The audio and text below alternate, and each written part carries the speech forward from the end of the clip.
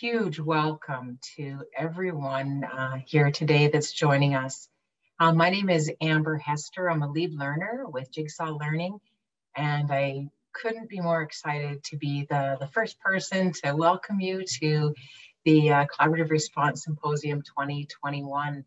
We have uh, the 26th, 7th, 8th, and 9th uh, full jam-packed of different sessions um, for everyone, and we are just thrilled to have those of you who those of you here with us right now joining us and so looking forward to seeing all of our um, partners, friends, um, new colleagues, new faces, and and the, having the opportunity to build some some more connections across uh, our great country and our province, and even internationally. Um, just so everyone knows, the, the session is being recorded today. We do have uh, 221 participants registered so far and people representing 50 different districts and or organizations from across Alberta, Saskatchewan, British Columbia, Iceland, and Australia. And I know if we were in one big room, we'd all hear some huge cheers for uh, each of the different provinces and areas that I just mentioned. So we uh, would like to begin today with our, our land acknowledgement. We acknowledge that we are on Treaty 6 territory, a traditional meeting grounds, gathering place, and traveling route to the Cree, Saulteaux, Blackfoot, Dene, Nakota Sioux, and the traditional homeland of the Métis. We acknowledge all of the many First Nations, Métis, and Inuit whose footsteps have marked these lands for centuries. We are aware and we are honored that some of our participants are joining us from other treaty areas and Métis zones in Alberta and Canada as well. So welcome to everyone. And uh, with that, I'd like to turn it over to Jen. Thank you. So I'm Jennifer Ferguson. I'm a digital learning liaison with Jigsaw Learning, and my role here today is to talk you through a little bit of the symposium site. So the symposium site will be available until July 1st, 2021. And that is where you will have access to all of the pre-recorded sessions, any of the recorded live sessions that we have, and any of the resources that we've made available as part of that. And so if we take a look at where those pre-recorded sessions are, you'll notice that they are coordinated by category. Uh, on the main page, there is a print off of the entire index of all the videos that are there, because there's over 82 videos there. As you're going through those videos, by all means, please click the thumbs up like button for feedback for our, those who've shared their, their videos, whether they be our partners or ourselves. That feedback is fantastic for us. For the next three days, the live sessions will be hosted under this schedule. So you'll be able to go in there and click the links that have the Zoom link for the one that is appropriate to you. As well on that main page, there is a one page at a glance you can print off or just access for the Zoom links as well. And don't forget that the Jigsaw Learning team has made themselves available for 45 minute consultations through various intervals over the next three days. So you can go under the consultations tab and click on the person that you'd like to speak with and get some one-on-one -on -one time with our team. And then Thursday, please don't forget to join us for the closing address and for some live wellness sessions prior to that.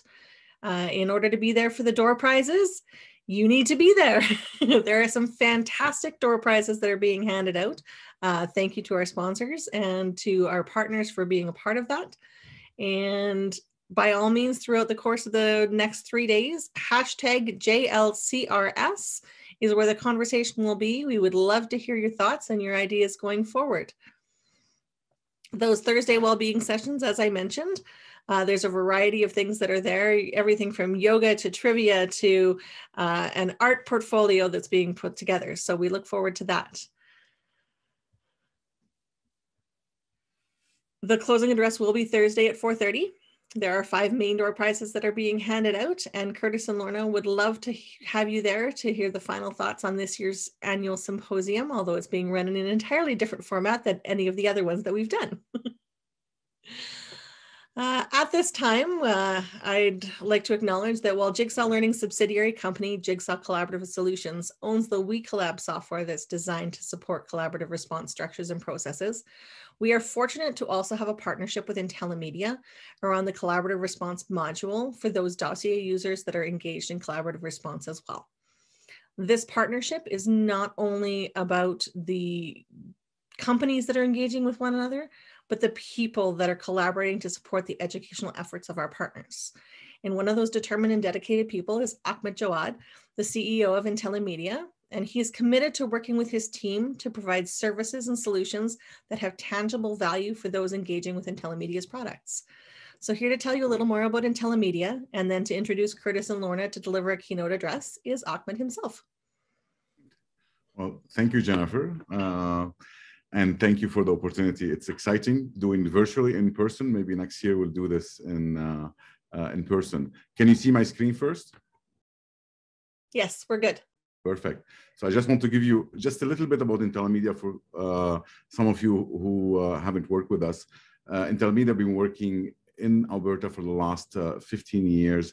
Uh, we focus our product on providing a product that allow for digitization of processes and collecting data about students for support like the CRM, for example, or counseling or refer uh, systems. Uh, Intellimedia have many products and the main ones are Dossier and uh, School Engage. Um, really, when it comes to our focus is in Alberta, but also internationally. We have about 40 school districts in Alberta, uh, 47 of them using uh, basically uh, across Western Canada using Dossier. Uh, school Engage, we have about 22 clients, but also we work a lot with assessments and report card solutions are key to some of the uh, uh, services that we provide to, to our client in Alberta and internationally. Um, dossier uh, basically with started as an inclusive as product, and uh, from there we moved into uh, education analytics, collecting data to support students. Some of that has to do with benchmark, but also uh, in about 2016, we, we worked with uh, Kurtis and his team, and then we built um, the dossier uh, CRM within uh, basically within our product in the dossier um, uh, collection of software. Now, uh, in here, what I wanted to, to jump, I think, remind Kurtis and Lorna, it was 2016. So May, almost five years ago. So almost the anniversary is coming so that we, we, we put together the, uh, the partnership. And really what Jennifer mentioned, it is not about business, it's about people. And, uh, and I'm sure Lorna and Kurtis feel that they are part of the community. I'm also I'm part of this community. So I'm very proud to be part of this community. I'm a parent, I'm an educator in one sense, but also we are here to support you to ensure that you're able to support students at the end of the day. Uh, what I'd like to do right now is uh, introduce, uh, I have the pleasure to introduce uh, Lorna and uh, uh, Kurtis. Lorna Hewson is an award-winning um, educator with leadership experience at the school, classroom, districts, and provincial level. Lorna's experience have included coaching and mentoring teachers and leaders, effective assessment, curriculum implementation, and inclusive practices at the classroom, school, and district level. She's also the recipient of an Alberta Excellence in Teaching Award, as well as elected as provincial chair for the Alberta Assessment Consortium for two terms. Kurtis Hewson has been an award-winning teacher, vice principal, and principal, as well as taught at the post-secondary level. With over a decade of experience as an administrator, Kurtis has championed the call for collaborative structures in schools to ensure success for all students. In addition to two finals awards from Alberta Excellence in Teaching Awards and Edwin Parr Awards recipient for excellence in his first year, uh, year of teaching, Kurtis was an honoree for the ACSD Outstanding Young Educator Awards in 2010. Uh, uh, together, Kurtis and Lorna are co-founder and lead learner of Jigsaw Learning, co-author of the text Envisioning a Collaborative Response Model, and currently work with districts and school districts or schools uh, provincially, nationally, and internationally, establishing collaborative response framework and interacting with thousands of educators annually. Welcome, Kurtis and Lorna. Thank you so much, Ahmed. We uh, very much appreciate your participation here. And of course, we appreciate your friendship and your partnership as well. So thank you so much for that introduction.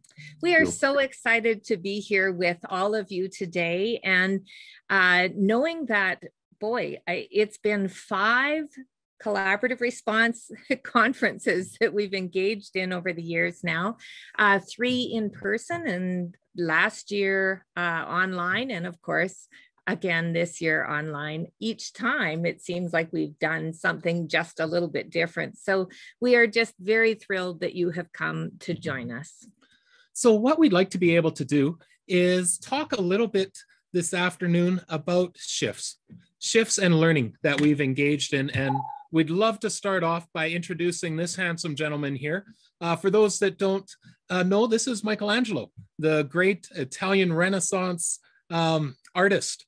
And he has been credited with a Latin phrase, ancora imparo. Now, there's a little bit of debate on whether this was something that he uttered at his deathbed, whether it was something that at the age of 87 he had remarked. I've also heard a story that it was something that he scrawled on the bottom of a painting. There's also been debate on is he actually the originator of this term, but we thought it'd be a good place to start with this Latin phrase, the idea of still I am learning.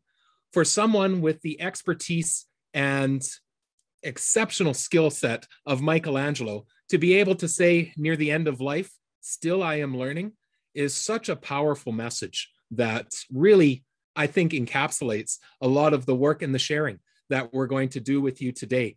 As, as educators working with schools and districts across our province and beyond, we've done a lot of learning through this work and want to share with you some of the ahas that have been made along the way this afternoon.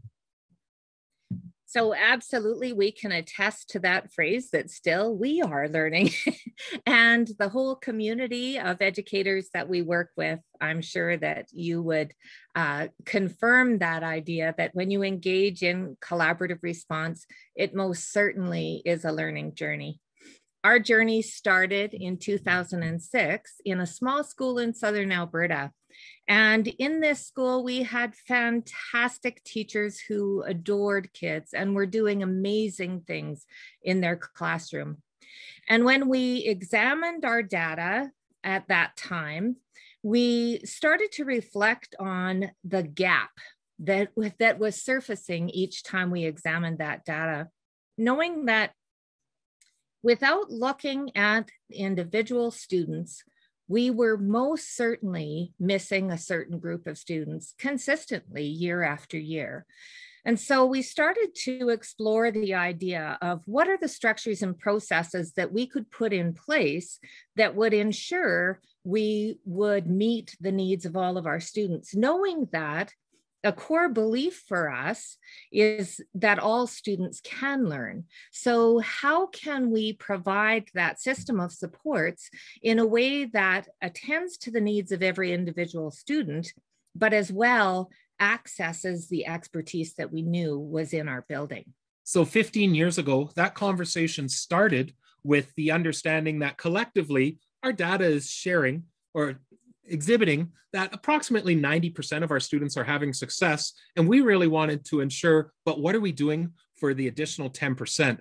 But it was through the intentional structuring of some processes and structures along the way that we actually found out that what was being constructed was about way more than that gap that Lorna described, that 10%. It was really about installing some refined structures and processes that would ensure every student can have success, but doing so in a way that was actually about building the collective capacity, not only within individuals, but within our, our staff team at every level. So as we muddled our way through and put processes in place, we began to, to see success that was happening, not just for that identified 10%, but for a greater student population, but also the staff um, responses that were coming back were really, really quite interesting as we engaged in some of this work. So, as things began to evolve in our school and we started to learn a little bit more about how uh, these components work together um, and how we use them to support our learners in our school, we started to get requests from other schools, from other um, teachers to be able to talk about what it was that we were actually engaging in. And at that point in time, it was about us being able to put language mm-hmm. to these ideas, knowing that we were grasping at a number of different concepts in a number of different areas. And so, how do we explain that in a way to others that uh, would be really understood? And essentially, how could we articulate simplicity with very complex and interrelated um, structures and processes that were being established. So the way we did that is we started out by naming it the collaborative response model, knowing that uh, we knew that it needed to be to be collaborative. There needed to be a component of collaboration within our teams, and it was about responding to the needs of students. So we coined it collaborative response model. And then we looked at what are the collaborative structures that we need to have in place to make sure that we are having intentional conversations about students. And then focusing in on what does our data tell us that we can really use to be able to inform our conversations as we go along. And then finally, how do we provide that support? What are the supports that we provide for our students in using that pyramid of interventions? So it's obviously difficult to see where you're going if you don't have a chance to reflect back on where you've been. So in some of those initial understandings, it, it was quite rudimentary for what it was that we were doing and trying to articulate to others. It formulated um, in 2015 with a book that shared some of those ideas out and understood that those essential components were actually highly interrelated and the connection between them was incredibly important. The learning that we began to engage in when we were sharing it out with others started to really take hold. And as different schools and eventually districts started to see application and value within this framework of learning, it's been over the past six years since the publication of that book that we've really engaged in some deeper thinking and moved well beyond some of the initial understandings in relation to collaborative response. So we moved from having that isolated model, collaborative response model, to understanding that the three components that we were working with initially were highly interrelated and that we started we continued to do some learning in those areas and knowing that uh, over time that thinking has shifted again and uh, we continue to learn as we go through these ideas so shifting those concepts to collaborative structures and processes, data and evidence and continuum of supports allowed us to think and connect a bigger picture in that deeper learning.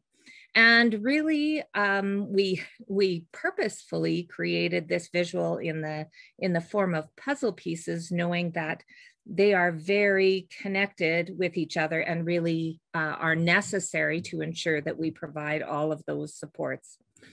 So it really has, our understanding has really deepened and expanded and uh, to even from the school provision of supports to how do we use this at a, at a district level. So over the last year, we've been working on a new text and you can watch for that coming out very soon. It should be out in the next uh, six months or so, I would think, hopefully. And so what we want to do today for you is to share some of those fundamental shifts that we've really been learning over the last couple of years that really have changed how we think about collaborative response.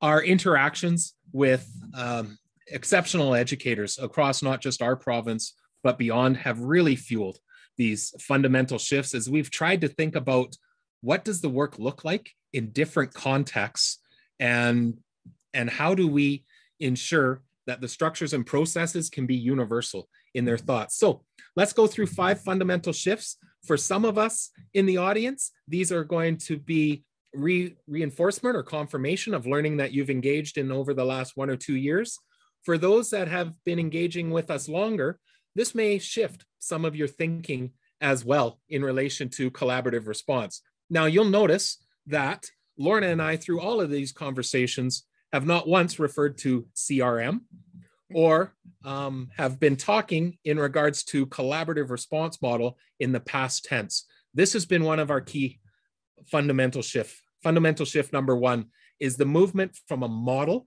to a mindset. And really, this began when we started to think about what does this work look like in a school when we're talking across an entire culture of learning. And we would have a school say ah oh, it's so great to have you in today. You're actually just in time for our crem meeting. And we'd say crem meeting? What's a crem meeting? Well you know our crm meeting. And what had happened is this framework that is meant to be large overarching frame or approach that we take within a school had been boiled down into a single collaborative structure within the school.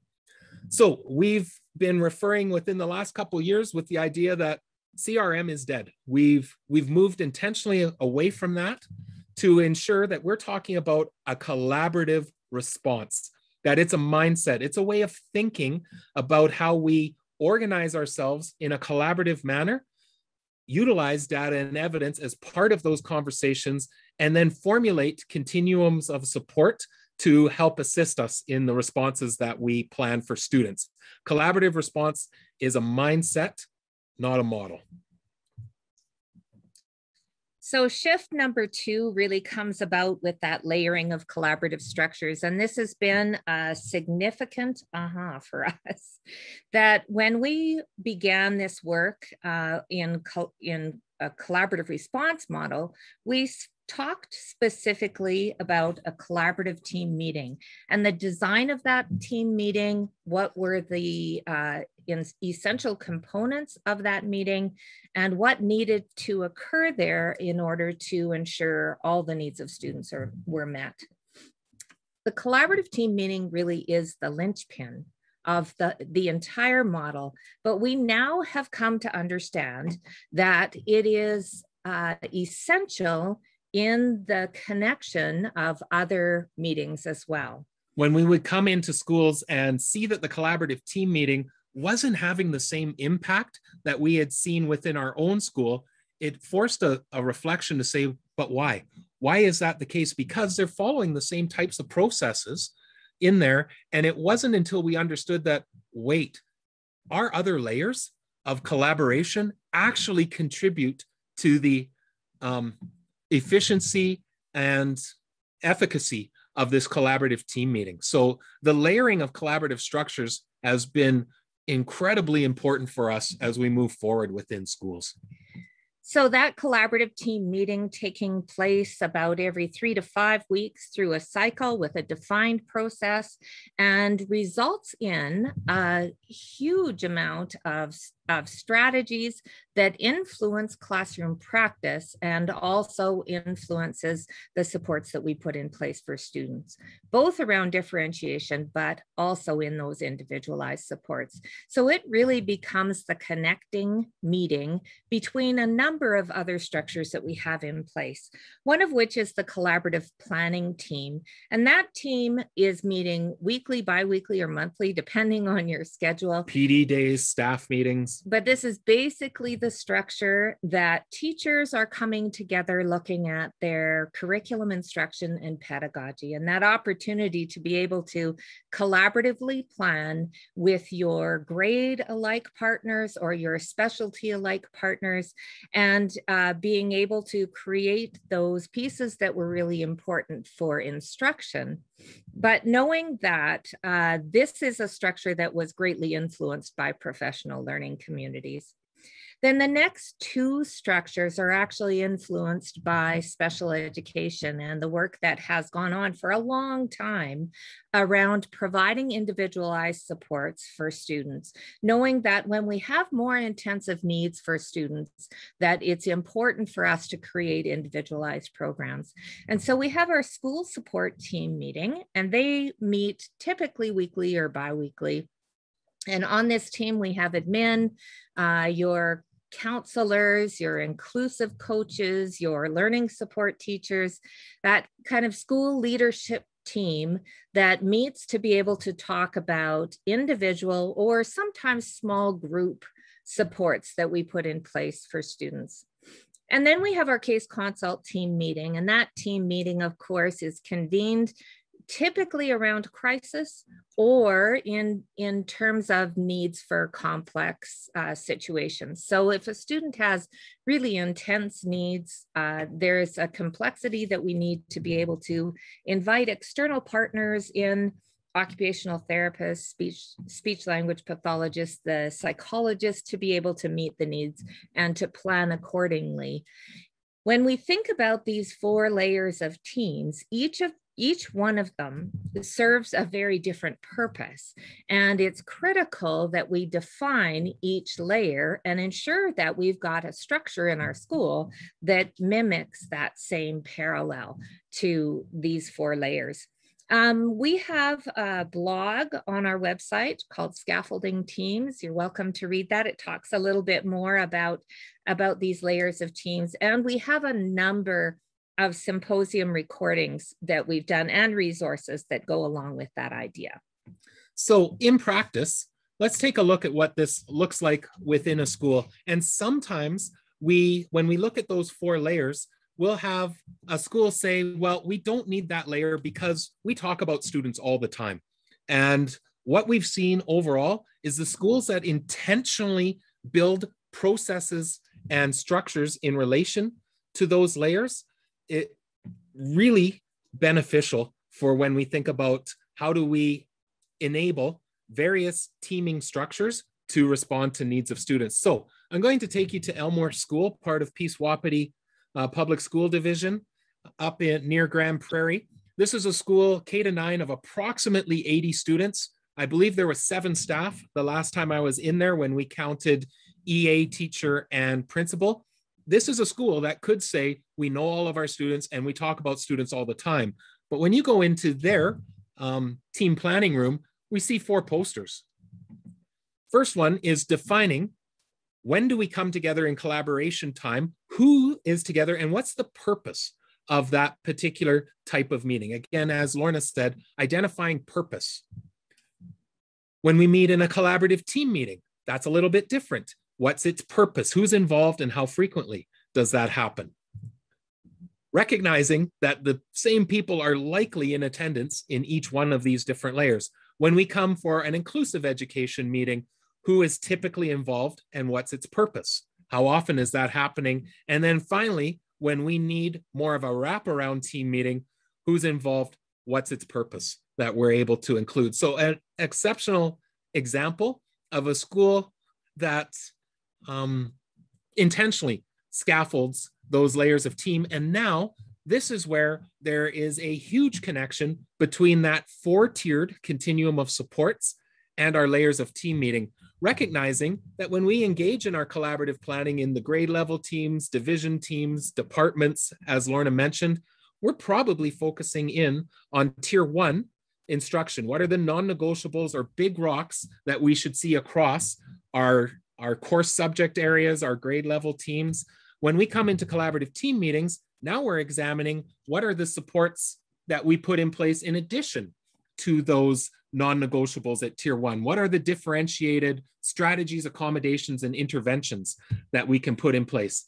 When we engage in that school support team meeting, or as Elmworth calls it, their inclusive ed team, now we're looking at supports beyond the classroom, supports that are provided by someone other than the classroom teacher and then finally, when we get to that single student wraparound conversation, this is where we're likely starting to investigate what are some of the external supports that we need to put in place. Really critical understanding of how those layers of team intertwine with the tiers of supports that we define within our school. Ensuring that there is a team that is in place to attend to every need of every student in your building. And recognizing then as well that we do not want to see the same student conversation arising in each one. We're able to say, where's the most appropriate fit for that conversation when we think about scaffolding or lay, laying on the next tier of supports for student success. Number three, fundamental shift, a focus on key issues. This is a biggie. So we, uh, as we were focusing in on collaborative team meetings solely without the layering of other meetings that were going on, we often heard the question, but when do I talk about Johnny? And uh, our response uh, a number of years ago was, well, you know, he he receives more intensive needs, so uh, in our own school we would yeah. say come and talk to us later. Yeah after, let's have a meeting after the meeting. Or or we would say okay well we could talk about uh, johnny at a at another point in time so we can address his individualized needs as opposed to uh, the the more comprehensive needs that we were looking at in collaborative team meetings. This fundamental shift really became apparent when we began to work specifically with large high schools where if we're going to talk about a student, it's or about a student grouping, it's really hard to get everybody who needs to be part of that conversation in the room. Or when we'd start talking about a student in the collaborative team meeting, you'd have several people check out or or even voice, I don't know why I'm here. The student that we're discussing, I don't even teach. Can I come back when we're ready to talk about my my student in this? A shift to key issue was critically important and it's been an absolute game changer. I wish we would have understood uh, 10 years ago.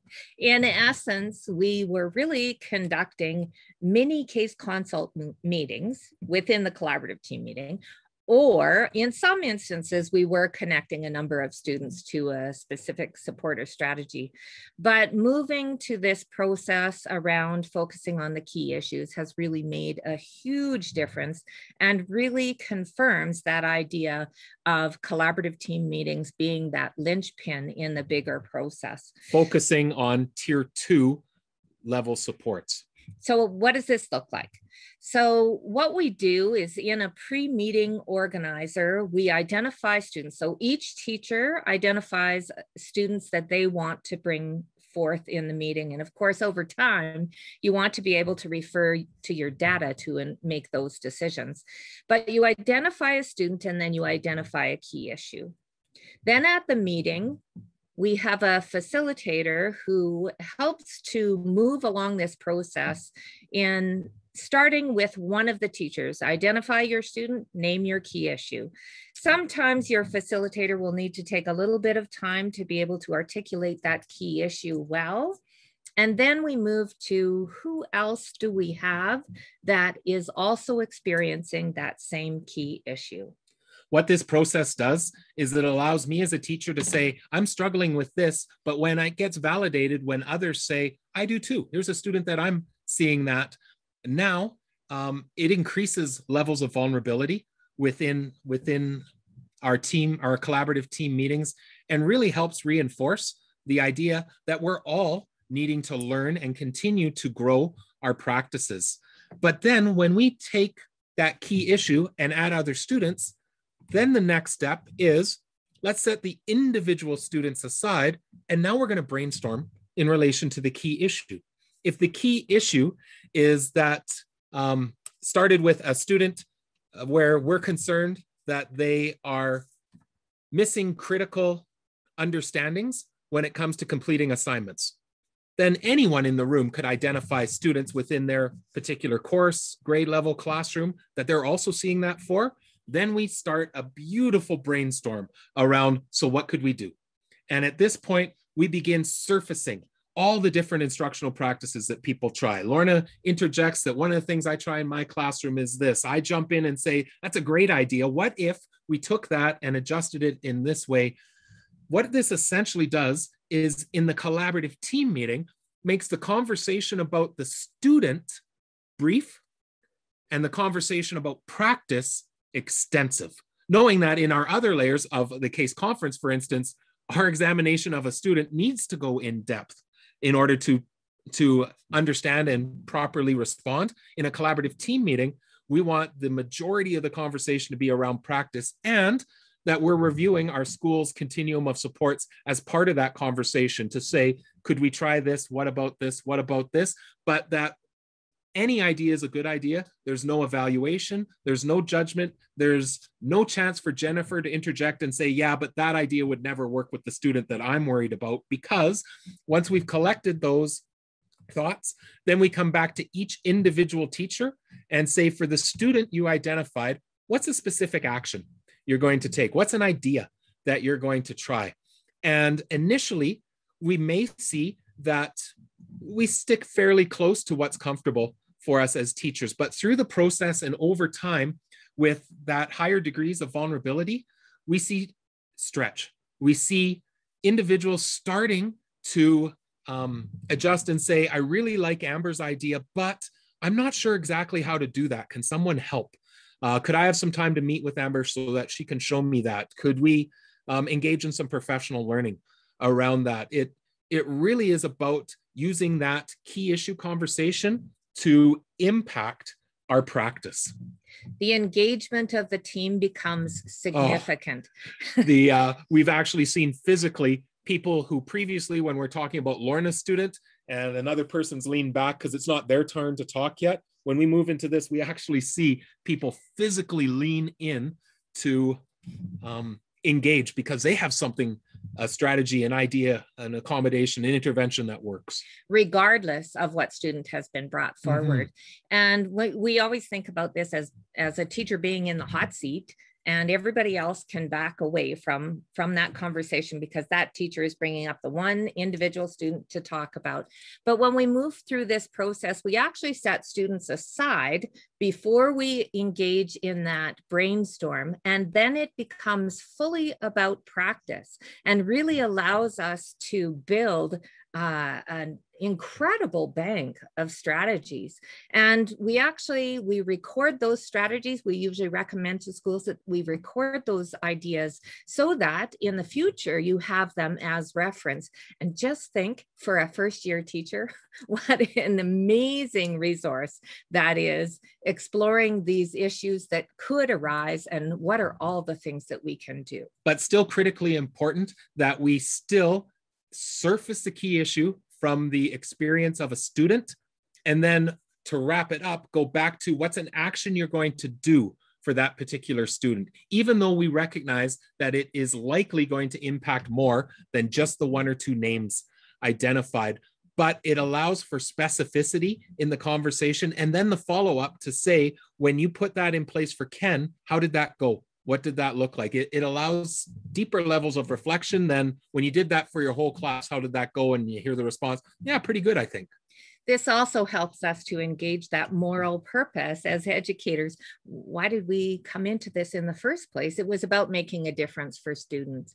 And uh, teachers' hearts are in that work in we name those students and and at the end of the meeting we're coming away with ideas for our students to make that big difference. So, uh, number four, number four is about focusing on the yellow. The and yellow. This is, this is really about our data and our examination of uh, data and evidence. Our fundamental shift is about being able to really focus in on the data and analyze and gather that data, data in a way that is usable within our collaborative team meetings and really informs our decisions about students. So when we started early on, we knew that data was going to be an important part of this process but when we began, we started to gather our data and look at it in terms of students meeting expectations and students who were below. And so basically, basically two. Two standards. Who's already made it and who do we have to focus on? And as we began to look at that, we we saw that, you know, we would look at the yellow and go, well, the, these kids are in the yellow for a number of different and reasons. huge range of students from ones that were significantly below where we'd want them to be and those that were close. So over time, we've come to realize that um, using multiple sources of data helps us to understand better what's happening for a student in terms of their overall achievement. And we also have looked at really using four different uh, criteria to be able to analyze that data and really thinking about um, are they meeting expectations? Are they exceeding expectations? Are they uh, slightly below or significantly below that standard? And being able to color code accordingly. What ends up happening is that we have those four color codes and we have an opportunity to be able to focus on the yellow. And the reason that we want to focus on that yellow is that, of course, there are a few things that we could put in place to bump students into the green, whereas spending significant amount of time and resources in red um, is a is a problem for us long term knowing that there's a number of structures already in place number of supports already in place for that that red category So this is where a shift can happen then in our pre-meeting organizer when we uh, we want people to engage in thinking prior to the meeting. Uh, not again huge make work. The, we've often said that if you need to write more than eight words, you're probably putting too much information on these pre-meeting organizers. But now we can utilize the data to be able to say who is a student who's close. They're in that yellow range, and what is a key issue that we're seeing? Then also being able to bump to who's a student who's already there, but we'd like to challenge or enrich. And then understanding that we still may want to focus on a particular red student because data is data and it, it's not perfect, but we also come at it with the understanding that the students who are significantly um, below may have complex needs that are attributing to that that are actually being attended to through some of our other layers of structures. This is a fundamental paradox in thinking so that we can say in the collaborative team meeting, who are the students who are either close or we'd like to enrich, where all of a sudden the strategies, ideas that are being suggested are have a greater chance of impact. I could walk away with an idea that a colleague had suggested, I try, and it works for this student who just needed a bump, who just needed a subtle shift in classroom practice, an additional small group interaction. It really helps build high levels of efficacy in the process when we can say, I tried the things and they worked. I'm I can't wait to come back and learn more from my colleagues. And again, it contributes then to that that stretch that we engage in in our own professional professional learning. If the collaborative team meeting focuses exclusively on students in the red, we often um, hear frustration. We hear, I've tried everything that's being suggested and nothing is working for us. That's again where we want to be able to lean onto our other layers of more intensive supports and structures. So that takes us to our number five shift. And this was actually one that we made fairly early after publication of Mm-hmm. understanding that the terminology of a pyramid of interventions actually doesn't quite lend itself well to what it is that we're describing. It, a continuum of supports is much more um, aligned with, with what, what we're sharing. So early on, when we were uh, researching ideas for how we would move forward, of course, response to inter intervention was uh, quite big in the states, and we were uh, doing lots, momentum. Yeah. lots and lots of reading and uh, understanding around what was happening for them there. Knowing that, um, that great influence around that uh, pyramid shape allowed us to really think about um, the the majority of our students being having their needs met at tier one and 80 to 85 percent. But thinking about that idea of uh, our students being labeled on that continuum we wanted of course to push away from that idea knowing that uh, that's not going to get us any further Mhm. by by putting a label on any of our kids. So, So, that- we shifted our thinking from uh, using that pyramid shape about students to about supports. And so it really is about us being able to identify supports that adults in the building are providing. And that's what is tiered, not the students themselves. the pyramid makes sense when you're tiering kids, but when you're tiering supports, as we see in this visualization from our friends at Connaught School in Medicine Hat Public, you can even see in this visual representation of their continuum, even though it's in a pyramid uh, format, if you look at the actual interventions, there's a narrowing that happens at tier one. When we say, what are the big rocks or the non negotiables that we'll see across all classrooms? When we get into tier two, then we see a bulge that happens. So actually, a pyramid doesn't accurately represent what we would see when we're tiering the supports.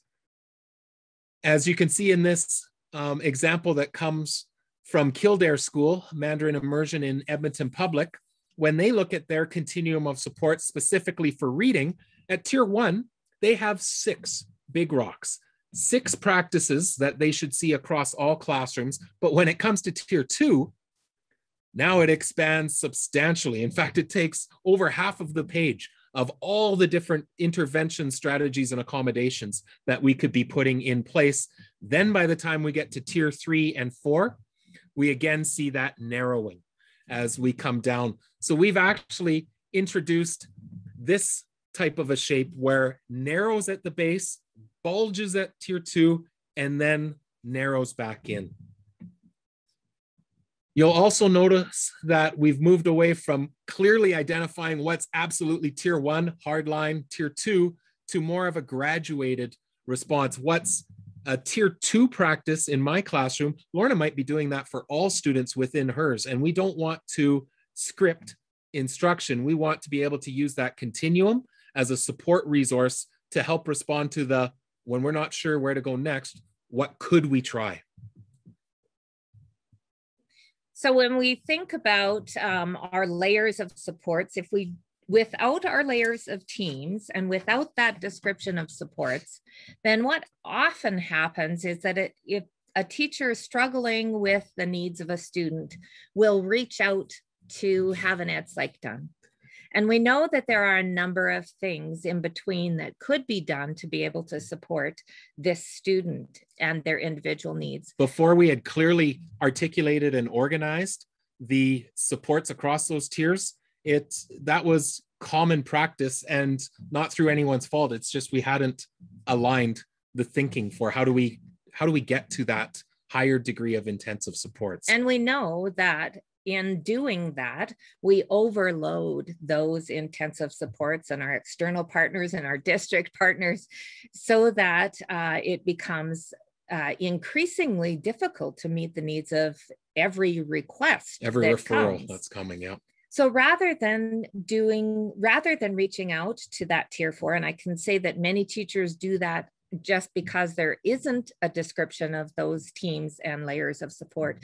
But what we would rather do is to be able to start at tier one and then add on additional supports as needed. As we identify the things that a student needs, we ensure that that is is in place as we go along and that it becomes um, uh, layering of supports and strategies that are needed across across the spectrum knowing that our kids are really have jagged profiles and this becomes a responsive flexible way to support the needs of our students. So shifting from a pyramid to a continuum makes sense in in this regard, but then shifting from interventions to supports also more adequately identify or describes what are all the different things that we can do. And we go back again to Kildare's example where we can identify not just interventions, but strategies and accommodations. There's a lot of things that we can do that aren't necessarily defined as an intervention. Uh, and that was one of our early mistakes is referring to everything as an intervention, which was actually quite misleading in our understanding. We wanted to be able to identify that there's a few interventions we have in place, but a wide array of strategies and accommodations. There's there's a full continuum of supports that we can access when attempting to respond to the needs of our students. So, with those five fundamental shifts, we come back to that idea that collaborative response is not intended to be one more thing on the plate, it's intended to be the plate.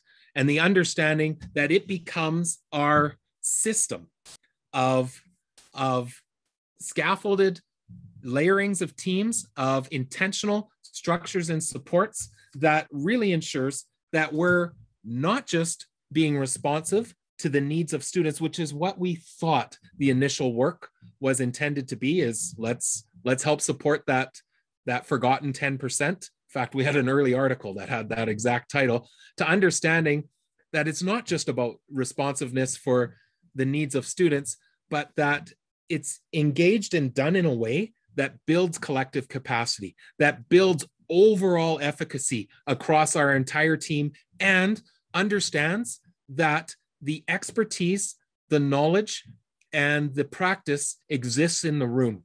How do we leverage it to really help ensure that we are providing a collaborative response throughout our school? So over the last year through pandemic, we've seen a lot of different things happening in a lot of different schools across the province and uh, for good reason. Mm-hmm. Um, for some schools, it and especially for schools who were early on in the implementation of collaborative response, uh, backed away from those structures and processes, and rightfully so, were attending to the immediate crisis that was facing them. But for some schools, they really leaned in. And what they did was they looked at shifting their times for their meetings and shifting their structure of their meeting and being able to look at what is the data that we need in these circumstances and then moved into so what kinds of supports do we need that may be different from what we were uh, looking at previously? And looking at things like online learning continuum of supports and well-being, well-being mm-hmm. continuums. So how do we use these structures and processes and really collaboratively respond to the needs of our students, regardless of the crisis. And we mm-hmm. would encourage you over this next year, not knowing what things are going to look like in the fall, but really to lean in, lean into those structures and processes to give you that solid foundation to meet the needs of students, staff, and even leadership. So we'll end with that final thought from our, our friend Michelangelo Ancora Imparo the idea that still I am learning. And how do we learn through this process and grow as organizations, as systems to be able to continue to evolve and ensure that through collaborative response, we are enhancing our learning, enhancing our expertise. And we often say that we want to get to a place where for you to describe what collaborative response looks like within your building or within your organization, whew, you better grab a coffee because it's going to take some time to describe all the interconnected elements that are aligning to this. Simple in understanding, highly complex in how we actualize. So we encourage you to engage with that model of still I am learning. Thanks so much. And we are super appreciative of the engagement and everyone that's involved in our symposium this year. We hope that it's sensational learning for you, not just during our synchronous, but through all the resources that are available uh, until July 1st. Take care and be safe. So excited to be able to connect with you over the next couple of days as well. Take care. Thank you. Cheryl, we'll turn it over to you.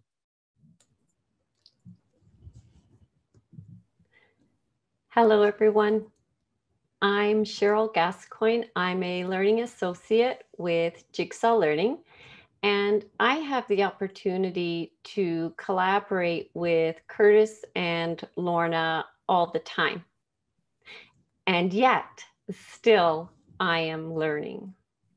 So thank you, Kurtis and Lorna, for that uh, wonderful kickoff to our symposium. Thank you for sharing your evolution of your thinking around collaborative response uh, as framed with those five shifts. So that is a very nice lead into our next three days. And along with Kurtis and Lorna, I would like to thank all of our partners from near and far. You will see that we have a variety of people um, coming together with us that support this symposium. So thank you to Intellimedia and Jigsaw Collaborative Solutions, as well as our Alberta Regional Consortia.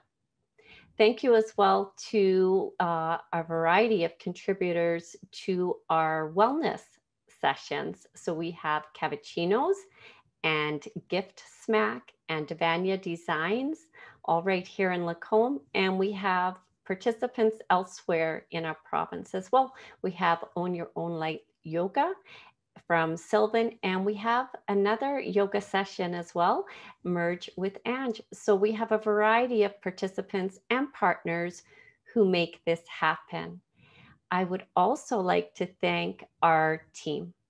We have a very uh, creative team, as you can see this uh, from what began as a in-person conference and it has evolved throughout the years to what you're going to see starting today and over the next few days with this virtual symposium. So a variety of talents and perspectives on this team to um, evolve and hopefully meet the needs of all of you educators who are joining in. And I would like to thank you for that. Thank you for your time. Thank you for your participation. And thank you for your partnership. We really look forward to connecting with you, collaborating with you, and uh, yeah, bright and early tomorrow morning. We start at 7:45.